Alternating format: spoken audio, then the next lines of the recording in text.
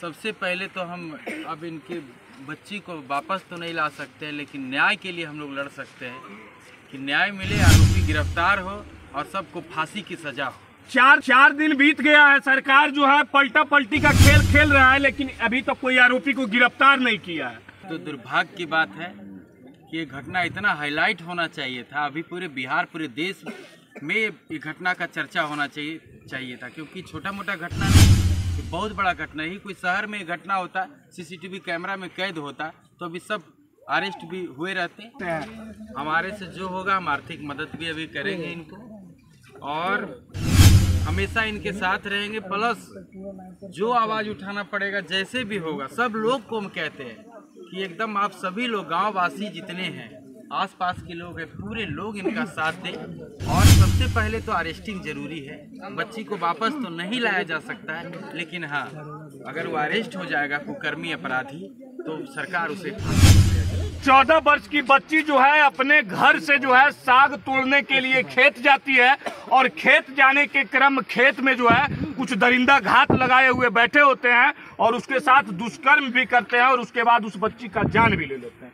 हमारे साथ जो है भोजपुरी के सुपरस्टार गायक गुंजन सिंह है और ये वही लड़की के पिताजी हैं माता जी हैं।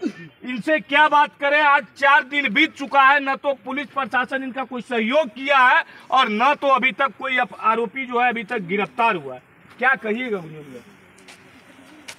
बहुत बड़ी घटना है और बहुत दुखद घटना है। और सबसे पहले तो हम अब इनके बच्ची को वापस तो नहीं ला सकते हैं लेकिन न्याय के लिए हम लोग लड़ सकते हैं कि न्याय मिले आरोपी गिरफ़्तार हो और सबको फांसी की सजा हो। चार दिन बीत गया है सरकार जो है पलटा पलटी का खेल खेल रहा है लेकिन अभी तक तो कोई आरोपी को गिरफ़्तार नहीं किया है। गिरफ़्तार तो छोड़िए इनके विधायक सांसद नहीं पहुँचे हैं। इससे भी बड़ा कोई घटना होता है क्या?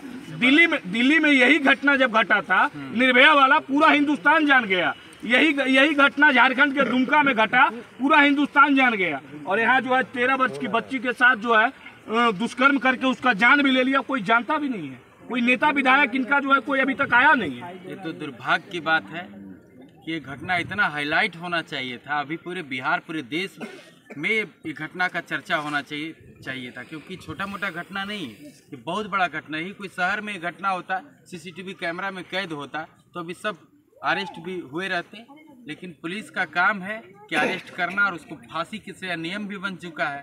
बचने वाले तो कोई भी नहीं है इसमें। जो ऐसा काम किया है, कुकर्मी, वो बचेगा नहीं। फांसी की सजा होना तय है और अरेस्टिंग भी होगा। जब चुनाव के समय आएगा तो लोग जो है जातिवाद करके इनका वोट लेके चल जाएँगे। आज इनके जाति के नेता ये कहाँ गए कहाँ गए? यादव के बहुत सारे नेता है। तेजस्वी यादव है, तेज प्रताप यादव है, मीसा भारती, नित्यानंद राय, राम कृपाल यादव, नंद किशोर यादव, कहाँ के, कहाँ कुल मर गए? इनके लिए कोई ट्वीट भी कर देते तो इस परिवार को इंसाफ मिल जाता। मुझे तो पता चला, कल ही मुझे पता चला। तो मुझे लगा कि हम अपने परिवार के बीच जागो यादव जी की बेटी की निर्मम हत्या की गई है बलात्कार करके। तो मुझे लगा कि मुझे बहुत जल्द जाना चाहिए यहाँ पे। कल ही आने वाले थे लेकिन रात हो जाता है इसलिए कल नहीं आ पाए।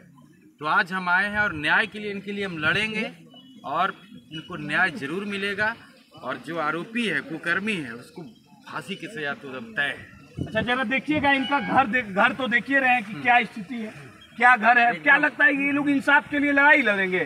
कोर्ट कोर्ट जाएँगे वकील को पैसा देंगे उतना इनका आर्थिक स्थिति है कि लड़ाई लड़ सकते हैं? हमारे से जो होगा, हम आर्थिक मदद भी अभी करेंगे इनको। और हमेशा इनके साथ रहेंगे, प्लस जो आवाज़ उठाना पड़ेगा, जैसे भी होगा, सब लोग को हम कहते हैं कि एकदम आप सभी लोग गाँव वासी जितने हैं, आसपास के लोग हैं, पूरे लोग इनका साथ दें। और सबसे पहले तो अरेस्टिंग ज़रूरी है। बच्ची को वापस तो नहीं लाया जा सकता है, लेकिन हाँ अगर वो अरेस्ट हो जाएगा, कुकर्मी अपराधी तो सरकार उसे फांसी की सजा ते, तेरह वर्ष की वो बच्ची थी क्या लड़ाई लड़िएगा? इंसाफ के लिए क्या कीजिएगा? गौरी के इंसाफ के लिए गुंजन सिंह क्या करेंगे? बहुत दुख हुआ ये बात सुन करके यार कि तेरह वर्ष की लड़की के साथ कैसे कोई इस प्रकार का कुकर्म कर सकता है और फिर जान मार देना कि हम बच जाए? गाँव में जाके कह देगा पहचान गई होगी वो। यही बात के कारण तो उसको मार दिया गया। पहचान गई होगी कि अब कह देगा तो जाने मार दो। ऐसा कुकर्मी को तो ऊपर नीचे कहीं जगह नहीं मिलेगा। शेखपुरा पुलिस को क्या कहिएगा? अभी तक नींद से जागा नहीं। जगाएँगे पुलिस को? जाग नहीं जागने से थोड़ी होगा। ये जो उनका काम है वो तो करना पड़ेगा ना। अब तो बिहार में जंगल राज का सरकार नहीं है तो बिहार में मंगल राज चल रहा है। फिर भी ऐसा घटना क्यों घट रहा है बिहार में? मुझे विश्वास है कि ज़रूर होगा न्याय इनका। और यहाँ नहीं होगा तो हम ऊपर तक बात करेंगे ऊपर तक जाएँगे। लेकिन इनकी बच्ची का बच्ची को न्याय मिलेगा गौरी को न्याय मिलेगा। यानी कि जो भी होगा गुंजन सिंह गौरी के न्याय के लिए लड़ाई लड़ेंगे। एकदम लड़ना पड़ेगा हम क्या सभी लोग को लड़ना होगा इसके लिए? देख रहे हैं इनको कुछ बोल नहीं पा रहे हैं। क्या बोलेंगे इनके बेटी के साथ? क्या बोलेंगे हमारी बच्ची के साथ बलात्कार हुआ है? क्या बोलेंगे? क्या बोले कि हमारी बच्ची का बलात्कार करके जान ले लिया है? कुछ बोलने के लिए बचा है। क्या बोलेंगे? अब बताइए ना वो माँ है हम पिछले तीन चार घंटा से यहाँ पे है जब से है तक रो ही रहे हैं। कुछ लोग बोल रहे थे कि चार दिनों से ये चचा खाना नहीं खाए हैं। एकदम भूख लगेगा किसी को। पूरे गाँव वाले इसमें दुख में होंगे। पूरा ये समाज पूरा ये बर बीघा क्षेत्र नवादा हर जगह खबर ये फैल रहा है धीरे धीरे और आज मेरा ये है कि हमको इसको बहुत हाईलाइट करना है। गरीब आदमी के लिए सबसे प्यारा इज़्ज़त होता है इनका इज़्ज़त भी चल गया और उस इज़्ज़त के लिए इंसाफ का लड़ाई लड़ रहे हैं। कम से कम इनके बच्ची के साथ जो हुआ है, उसके लिए कम समाज के बीच में उन दरिंदों को ऐसा सजा मिलना चाहिए कि आने वाले समय में कोई इस प्रकार का अगर सोच और मानसिकता रखता हो तो उसका रूह काँप जाए। पूरे देश में ऐसा नियम अभी लग गया है, और ये तो नाबालिग है। बचने का कोई चांस ही नहीं। जैसे ही पुलिस इस पर काम कर रही है और प्लस हम बात करते हैं कि कहाँ तक क्या हुआ है, कहाँ तक काम कर पाए हैं, यहाँ नहीं होगा और ऊपर तक हम लोग जाए लेकिन इनको न्याय दिलाए क्या क्या क्या क्या कहिएगा चाचा? अभी तक अभी तक तुम पिछले तीन चार घंटों से यहाँ है। बोल रहे थे कोई नेता नहीं आए गुंजन सिंह आए हैं भोजपुरी गायक क्या कहिएगा? उम्मीद है गुंजन सिंह से आपको? हाँ विश्वास है। विश्वास है कि हमको भलाई करेंगे गौरी के। और उसके जो किया है उसको फांसी की सजा देंगे। विश्वास हमको है।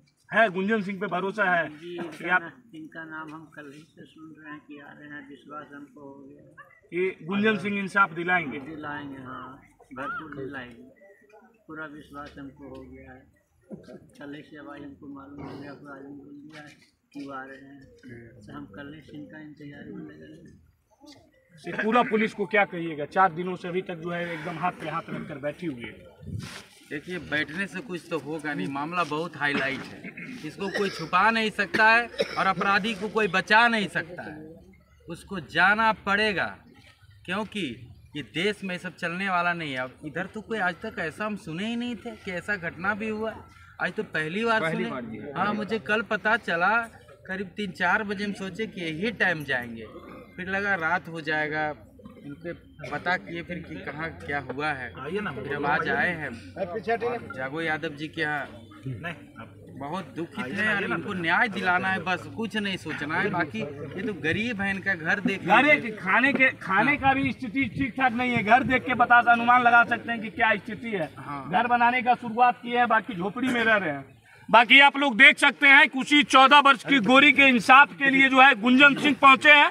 वो ये गोरी के पिताजी हैं, इनको अब उम्मीद है कि इनके दरवाजे पे अभी तक कोई नेता नहीं पहुँचा है स्थानीय, कोई विधायक, कोई सांसद, कोई मंत्री, कोई इनके जात का नेता इनके दरवाजे पे नहीं पहुँचा है, लेकिन गुंजन सिंह यहाँ पे पहुँचे हैं। गुंजन सिंह से उम्मीद है कि इनकी बच्ची के कुकर्मी को कम से कम गुंजन सिंह ज़रूर सजा दिलवाएँगे और इनके बेटी के लिए गुंजन सिंह इंसाफ का लड़ाई ज़रूर लड़ेंगे। बाकी आप लोगों से भी आग्रह रहेगा, अगर आपके अंदर भी थोड़ी बहुत भी मानवता है तो आप लोग आगे आइए और गोरी के इंसाफ के लिए कम से कम अपने अपने जो भी आपका स्थानीय गाँव हो, शहर हो, इस बच्ची के लिए जो है, कैंडल मार्च ज़रूर निकालिए।